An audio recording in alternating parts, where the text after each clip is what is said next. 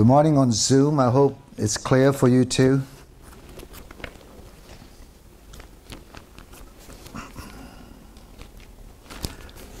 This morning I like to share just very briefly. I'm not too well myself, but it doesn't matter.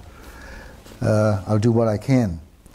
But while I was thinking during the week, you know, what to share and how to bless people who are here, to encourage, to strengthen.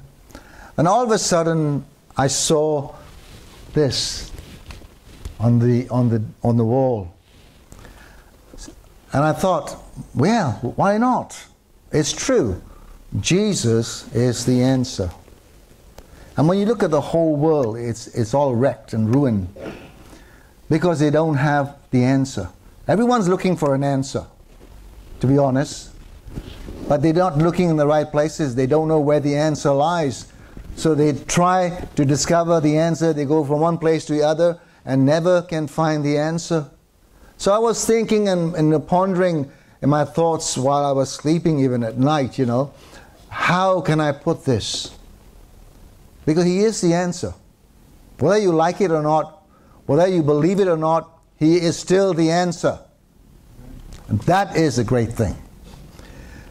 So He's the answer not only now, not only before, not only ahead, He is the answer in the past, in the present, and in the future. And that's what it counts. You know why? Because He's all powerful. He is God. That's why.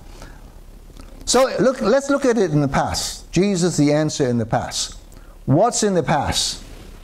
Creation, Garden of Eden, sin. Those are all in the past. So when we talk about DNA today, you know, we're very from there, oh, go test your DNA, blah, blah, blah. Why? Because, you know, it, it, it carries the genetic information. That's what DNA does. I looked up what DNA stands for. I couldn't pronounce it. Deoxybinox, something. I don't know. But those are the terms. But what it does is carry is the it carries the genetic information. So if we were to bring all our blood in a bowl, you know, taken out like you go to the surgery to take blood out in tubes of whatever, and you test it back right through back to the Garden of Eden, it will be matching with Adam's blood. Because we all have sinned and fall short of the glory of God. We came through Adam, the first Adam. That's why when you look at the past, all have sinned and fallen short of the glory of God. Our blood has been stained and been corrupted by the blood of Adam. When you look back hindsight, it's the truth. You know, if scientists can go back right through 6, 7,000, 8,000 years, 9,000, or even 12,000, don't talk about millions. This world is not millions, by the way. All wild guess. Carbon dating even don't talk about millions. So what I'm trying to say here is, in the past, our blood was corrupted, stained, which is passed down through mankind, which results in rebellion and bad behavior. You know, when we when we look at all these kids that are behaving badly, you know, when when you look at the genetics. It, it, it links. It links because of the DNA. And when you look at all of that, that's why we need somebody to clean or cleanse all our corrupt stained blood, which is the blood of Jesus Christ. So he is the answer in the past. Because only through his blood we can be cleansed. Why? Because he has no sin. That's why he has no sin. So our sin stained blood can be cleansed by the sinless blood when we receive him, when he died on the cross for all of us. That is a great thing. That's great news because he died not only for us who is seated here, he died for the whole world out there who doesn't know him. That's the bonus. Everyone who comes to him and accepts him will be got rid of all the stained, corrupt blood and made pure by the blood of Christ. And then what happens? we become a new creation. That's who we are. New creation. And we today have accepted Christ, have been washed by the blood of Jesus Christ. So our DNA is the DNA of the second Adam. Not the first Adam, the second Adam. So when we look at it, He is the answer. No other gods or gods, small g gods or religious men that have actually practiced religion and given religion to the world can actually do that. Because their blood is not innocent. Their blood is stained and corrupted. So they can't save or they can't clean or cleanse any other blood. And that is important to know. Because, you know, people are searching for answers. They go to this God, they go to that God, they go to the other God, they go to this religion, that religion, every religion in the world, but they can't get the answer. Because no other religion, no other religious leader can do what Jesus did. Why? Because they're not God. Jesus is God, God incarnate as man. He came to the, into the world as a man and his blood is sinless. That is the past. What great gift he gave, what God gave through his Son to the world to cleanse our blood and make it pure, to become a new creation. That's the past. What about the present? I'm talking about the past. You look back history, you go back years and years and years, and what record, you know, history records a lot of things. And they are all facts, by the way. All facts. Geologists, they found facts of what the Bible describes and declare. And scientists found facts about what the Bible is declaring. So you can't discard this. If you have a brain, if you are smart, if you have a, uh, you know, a mind to think, you can think back and say, well, that's right. Why are we, why, are, why is the world listening to all the lies that people who think they are smart are actually telling? All lies. They themselves don't know it, but we have proof. That's been dated, recorded, and has been given through the Word of God. All right, let's look at the present. He's the answer to our every need. If I call you up here and ask you what God has done for you in your life, which is significant, you can all share what God has done for you. That's present. Because He's alive. He's not dead. He's the only God that became alive after the crucifixion.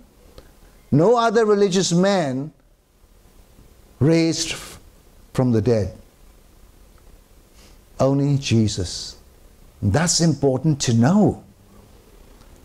So, when we look, let's look at some scriptures here, examples. First of all, let's look at a man at the pool of Bethesda. In, in, in actually, in John 5. Let me read this to you. In John 5. You know, you know the story at the pool of Bethesda? The angel comes and stir the water up and all the lame, the blind, the deaf, all the crippled, they are all there to jump in into the pool and they get healed. So when, when the angel comes and stir the water up, everyone who, who gets in first gets healed. But this lame man is there you know, lying in a bed. And he's waiting for his chance to just roll in, but he never get a chance to get in. So he never got healed and you know he's probably frustrated. So in, in, in, john 5 chapter 5 verse 1 to 5 it says here after this there was a feast of the jews and jesus went up to jerusalem and now there is in jerusalem by the sheep, sheep gate a pool which is called in hebrew bethesda having five porches in these lay a great multitude of sick people, blind, lame, paralyzed, waiting for the moving of the water. For an angel went down at a certain time into the pool and stirred the water. Then whoever stepped in first after the stirring of the water was made well of whatever disease he had. Now a certain man was there who had an infirmity 38 years. When Jesus saw him lying there, and knew that he already had been in that condition a long time, He said to him, Do you want to be made well? Do you want to be made well? The sick man answered, Sir, I have no man to put me into the pool. When the water stirred up, but while I am coming, another steps down before me. And that's the scene here. You know? So, poor man, infirm for 38 years, and he can't get into the water because he's laid on his bed. What I'm trying to picture you here is the water stirred by an angel, and whoever gets in first get healed. But you know, this man seeing all the healing, all the stirring, all, all what is going on, but yet the answer in his life is not that. It's Jesus. It's Jesus, and he didn't know that until he told Jesus, I can't get into the water, Jesus. So, what did Jesus say here? Jesus said to him, Rise, take up your bed, and walk. And immediately the man was made well, took up his bed and walked. And on that day, he was made well. So, what I'm trying to say here is even though all this havoc and commotion is going on because of the stirring of the water and people get healed, but nobody looked at Jesus, who is the answer there and then, except he, this man who met Jesus. So when you look at it, it's not the stirring of the water, it's not the angel that comes down, it's not the healing that takes part, it's the answer that lies is in Jesus. So this man, you know, regretfully, hoping and thinking he can't make it, who met Jesus, got the answer. Rise up and walk. This is present 2,000 years ago. The past is great. The answer is still Jesus. The present, still Jesus. Let me, let me read you another, another incident here. The woman with the blood issue for 12 years. 12 years. Quite a number of years. 12 years. In Luke chapter 8, in 43, verse 43, now a woman having a flow of blood for 12 years, who had spent all her livelihood on physicians and could not be healed by any. This is the problem. Today, a lot of people are running around like headless chicken to find the answer spending so much money for this and that and the other, but they never stop to wonder and think there's a great healer who is Jesus. This is what the world is like. Same with this woman, issue of blood for 12 years. She spent so much money trying to going to the physicians to get treated. And they treated her, but she never got cured never got cured. You know, this is, this is the mentality of, of people in the world today. You try your best, whatever you can. If you can't, then go to monastery or church or whatever, try religion. This is how it is. You know, the, the philosophy of mankind is when you are young, you play. When you're teenage, you study and you learn hard. And when you have a degree or whatever, find money. And only when you're 70 years plus, seek religion. That's the philosophy of the world. Nobody understands that you could die as a teenager or you could die as a young adult. But they only seek religion when they are 70 plus. Oh, I'm getting old now, I'm going to die, I might as well have a religion. That's the philosophy of the world. But here, it doesn't matter whether you're 3 years old, 20 years old, 30 years old, 40, 70. The answer it always lies in Jesus. This woman, she was trying to find solutions, spent so much money, so much time and energy, disappointments, frustrations, probably cry at night. Went through all of that. You know, but here, one day, she found out just like Bartimaeus. Blind Bartimaeus was also blind, begging for 40 plus years. And when he heard about Jesus, he thought to himself, if I could only meet Jesus. So this woman also knew about Jesus going about healing any every manner of diseases. And she was determined, I've spent all my money with these physicians, nothing works. But what I've heard about Jesus is he has the answer, and I'm going to get it. This is the determination here in this story. So, what happened? You know, we also have this story in Mark as well. It says here, so in Mark 24, so Jesus went with him, and a great multitude followed him and thronged him. Now, a certain woman had a flow of blood for 12 years and had suffered many things from many physicians. She had spent all that she had and was no better, but rather grew worse. When she heard about Jesus, she heard about Jesus and she, she knew that Jesus was coming to where she was. She became behind him in the crowd and touched his garment. Can you visualize the scene? The crowd's there, Jesus is walking, and then she probably crawled between the legs of all the crowd and touched his garment. Within that crowd, you know, for she said, If only I may touch his clothes, I shall be made well. I've been looking for answer everywhere, I couldn't find it, but I didn't know until now the answer lies in Jesus. See, it only takes a minute to think about, you know, what's going on. Because we don't think, we jump on the bandwagon. Whatever people tells us, we jump on the bandwagon and go along with it. But I want you to think, pause, step back, and think carefully what the Bible says. And think carefully who Jesus is today. Not the past, today. This lady, she had the right idea, right determination.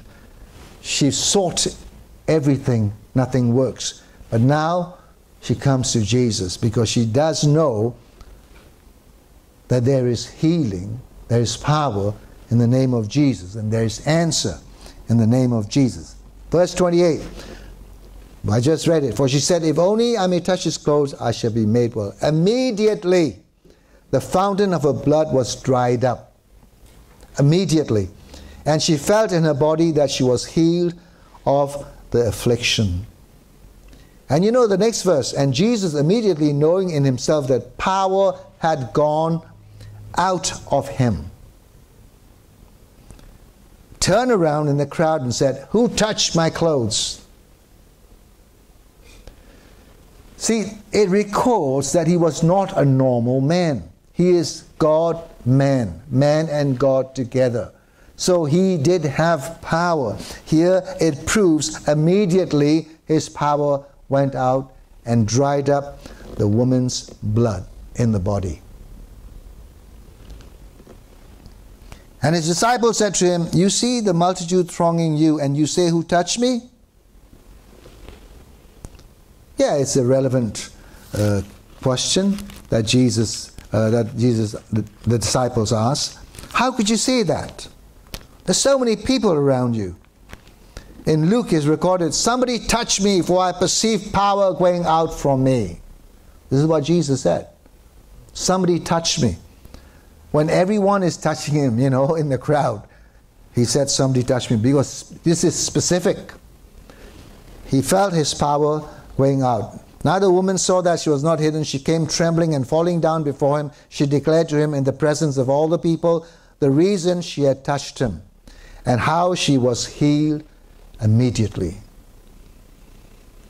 We can chase after the rainbow. We can go and we can, you know, run around and find help from anyone. But why don't we first, our first stop should be Jesus? instead of running around and trying to find help. Our first stop always need to be Jesus because Jesus is the answer. Not our bank managers, not our great doctors, not our social workers or care workers or whoever can help us. It's Jesus. And you know what? When we when we talk about Jesus as the answer, I know he's not bodily here, but he puts people along our pathway to help us to achieve and accomplish what we need in our lives. But if we don't go to Jesus first, how can He arrange and organize for whatever we need to be achieved. So, you know, I want to encourage you, our first port of call need to be Jesus because he's the answer. Nobody else. And you know, and he said to her, Jesus, in verse 48 of Luke 8, Daughter, be of good cheer. Your faith has made you well. Go in peace. What a wonderful testimony here. What a wonderful, you know, uh, incident, which is recorded, which is fact, by the way.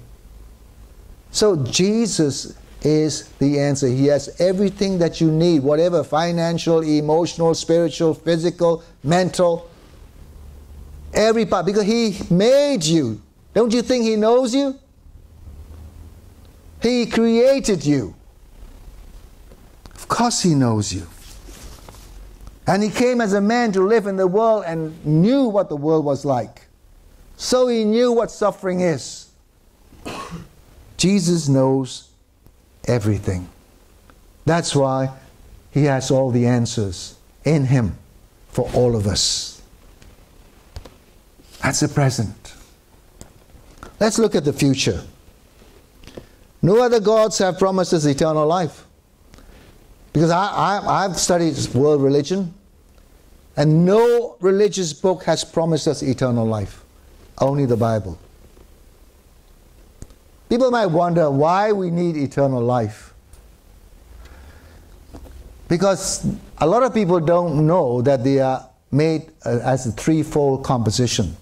Because they're composed of three, three elements body, soul, and spirit. We have this body here that we see, which is worth two quid, by the way, just two pounds. When you die, it's worth two quid only. That even now today, I don't think it's worth that much now because people can't make a profit out of it. All the chemicals. But today, you know, if we know that our bodies that we see here is going to die and be dust again because we are made from dust and we are breathed in the spirit from God. So we are a spirit being, body, soul, and spirit. The body dies, the spirit lives on. That's why the question is where are we going to live forever? There's only two places Gehenna and heaven. There's only two places. First, we've got to establish that because we are threefold composition. So, that spirit in the man's life yearns to worship something. He yearns to worship something. That's why we have so many religions, so many denominations today in the world. So, the Spirit, by the way, only man is created with the Spirit, no animals. People might wonder, oh, what about the spirit of animals? Have you ever seen dogs gathering together and worshiping God? No, you haven't.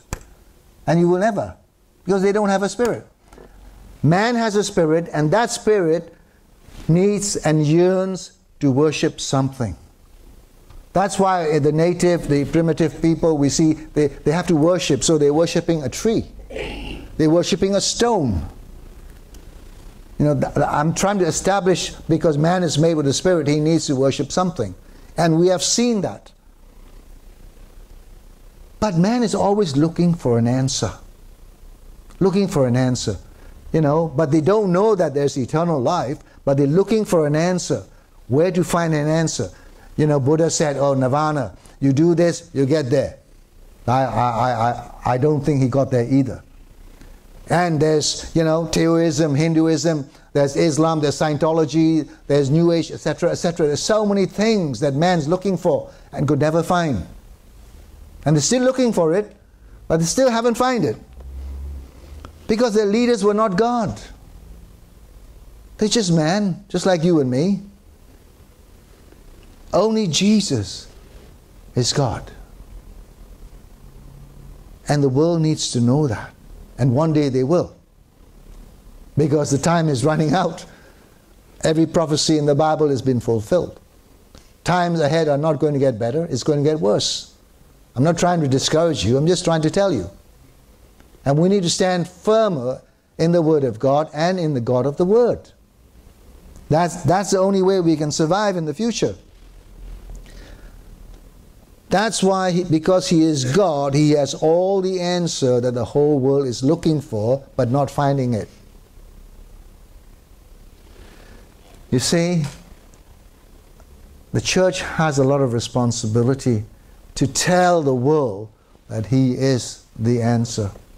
Unless people know, unless people stop for a while and think and get into that uh, practical things from the Bible, then you won't, they won't know that Jesus is the answer. And the church has a responsibility for that. Only a few have found it. There's only a handful of people in the world today who follow Jesus. There may be millions who, who are religious, but only a handful who follow Jesus.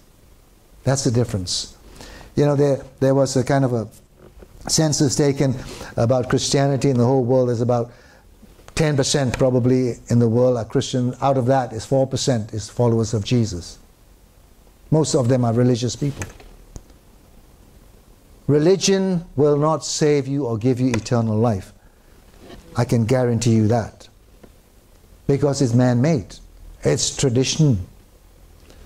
But relationship with Jesus makes all the difference. We have the answer. And the answer is always a blessing to our lives because He will never give us what we don't need. He always gives us what we need. And that is why Jesus is the answer past, present, and future. He is the only one that can guarantee you eternal life, where your spirit, when this body dies, your spirit lives with Him in heaven forever. Who in the right frame of mind want to go to hell, where you are burning 24 7 constantly for the rest of eternity? But they want, they want to go. Some people say, well, we're going to have a party in hell. You'll be surprised. Oh, we'll have a barbecue in hell. No, you will be barbecued. So, you know, things like that, people don't think, they, they make fun of it. But reality, when reality hits, one day reality is going to hit when Jesus comes back. When the world gets worse and tribulation hits the world, everyone, everybody's going to run to God crying out for God, running into church. That's the day. That's when G the word says every knee will have to bow, every tongue confess that Jesus Christ is Lord. He is Lord today, yesterday, and forever. And He's the answer, past, present, and future. So, church, let's not jump on the bandwagon and listen to many voices. There's only one voice you need to listen that's Jesus and His Word through the Holy Spirit, nothing else. So let's keep on on that right track. I want to tell you something, I want to encourage you. Even though we are few, it doesn't matter. The authenticity is important, more important than numbers. Because sometimes you see a lot of people flocking to big church, mega churches but can you find Jesus there?